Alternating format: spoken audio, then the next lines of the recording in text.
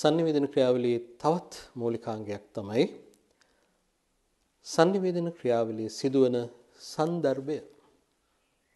සන්දර්භය කියන වචනය ඔබ මීට කලින් ඇහුවා මේ ඇසුරෙන් නිර්මාණය වන වචනයක් සන්දර්භානුගතයි කියලා sannivedana ස්වභාවයන් ගැන කතා කරනකොට.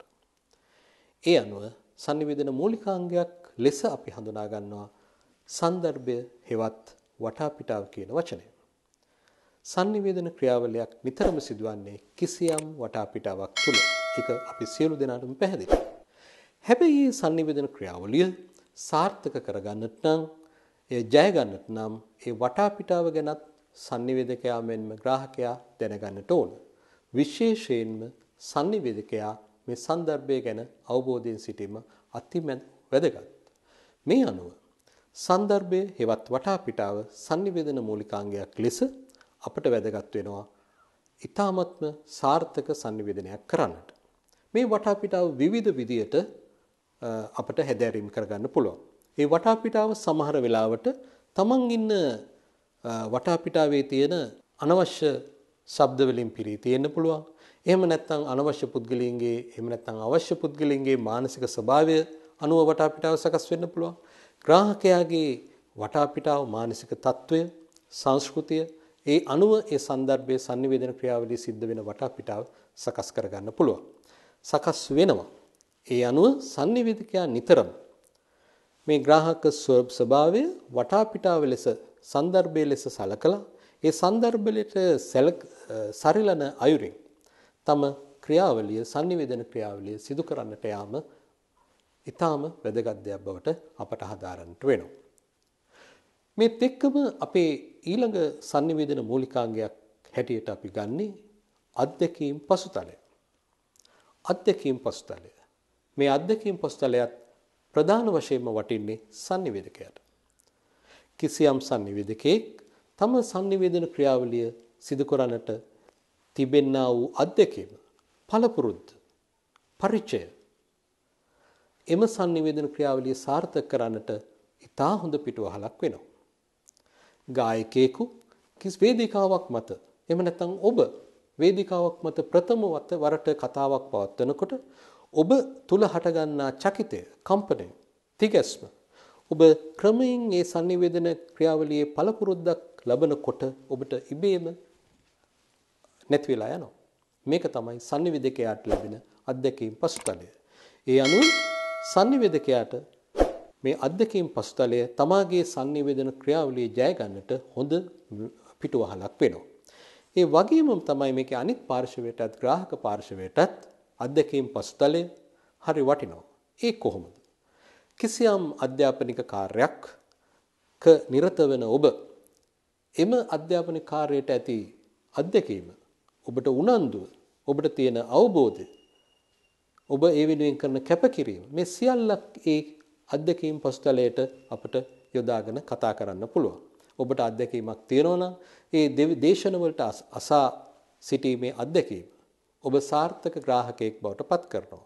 ඒ කියන්නේ sannivedakayaගේ sannivedana ක්‍රියාවලිය නිසා ඔබ තුල නව දැනුමක් ඊතා ඊතා ඉක්මනින් ඊතා සරලව ඊතා පහසුවෙන් නිර්මාණය කරන්නේ ඔබ සතුව තිබෙනා වූ අධ්‍යක්ීම. ඔබ ඉංග්‍රීසි මාධ්‍යයේ අධ්‍යක්ීමක් ලැබෙනවා නම් ඔබට ඉංග්‍රීසි ප්‍රවෘත්ති විකාශයක් ඊතා මැනවින් ඊතා පහසුවෙන් විඳගෙන අවබෝධ කරගන්න පුළුවන්. ඒ ඔබට තියෙන අත්දැකීම. ඔබ ග්‍රාහකයෙකු ලෙස ඔබට තියෙන අත්දැකීම. ඔබ ප්‍රවෘත්ති ඉතා වේගයෙන් කියවෙන ලේඛනයක් ඔබට අසා අත්දැකීමක් නැත්තම් ඔබට ඒ අත්දැකීම නැත්තම් ඔබට ඒ අත්දැකීම තුලින් ඒ sannivedana ක්‍රියාවලිය තුලින් ජයග්‍රහණය කරන්න හම්බ වෙන්නේ ඔබට වැඩි අත්දැකීම් තියෙන ග්‍රාහකයෙක් ඉන් මන ප්‍රයෝජන ලබා ගන්නවා විය හැකියි. ඒ අනුව ඔබ සිසුවෙක් හැටියට ඔබට තියෙන අත්දැකීම් අධ්‍යාපන කාර්යයේ තියෙන අත්දැකීම් ඔබගේ සිසු ජීවිතය අධ්‍යාපන කාර්ය සාර්ථක කරගන්නට පිටුවහලක් වෙනවා. ඒ අනුව sannivedana මූලිකාංගයක් හැටියට අධ්‍යක්ීම් පසුතලය ඊටාම වටිනා දෙයක්.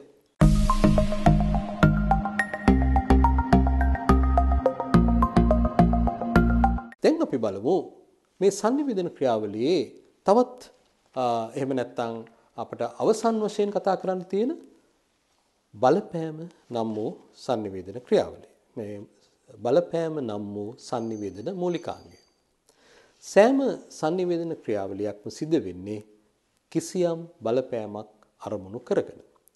sannivedakaya තමාගේ සංදේශය ඇසුරෙන් ග්‍රාහක පර්ශවය කිසියම් අවනත කර ගැනීමක් එහෙම නැත්නම් ග්‍රාහක පාර්ශවය දැනුවත් කරවීමක් බලාපොරොත්තු වෙනවා නම් ඒ sannivedakayaගේ sannivedakaya විසින් ග්‍රාහක පාර්ශවයට කරන බලපෑම.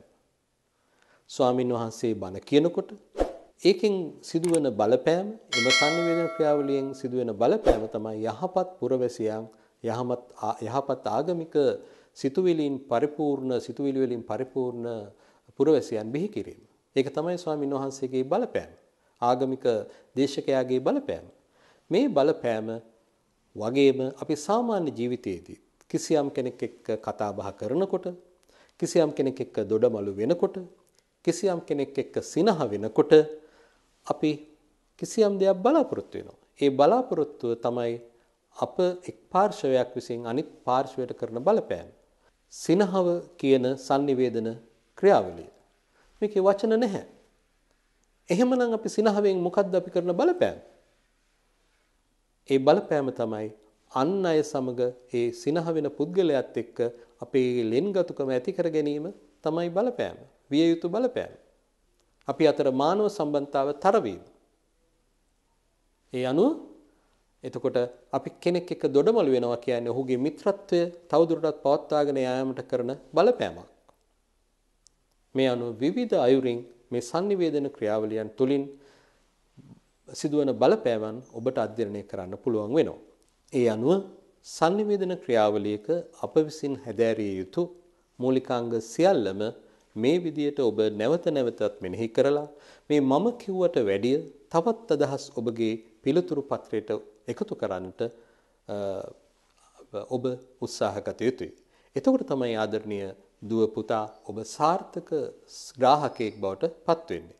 ඊට පස්සේ සාර්ථක ග්‍රාහකයෙක්ගෙන් පස්සේ ඒ අවබෝධය කැටුව ඔබට සාර්ථක sannivedakek වෙන්න පුළුවන් යම් දවසක. මේක පුද්ගල ජීවිතයටත් ඉන්පසුව ඉන් ඔබට සමාජ ජීවිතයටත් විශාල බලපෑමක් විශාල සේවයක් කරන ක්‍රියාවලියක් වන්නේ මේ මූලිකාංග තුල අපි නිසි අයුරෙන් හැසිරෙනවා නම් තමයි.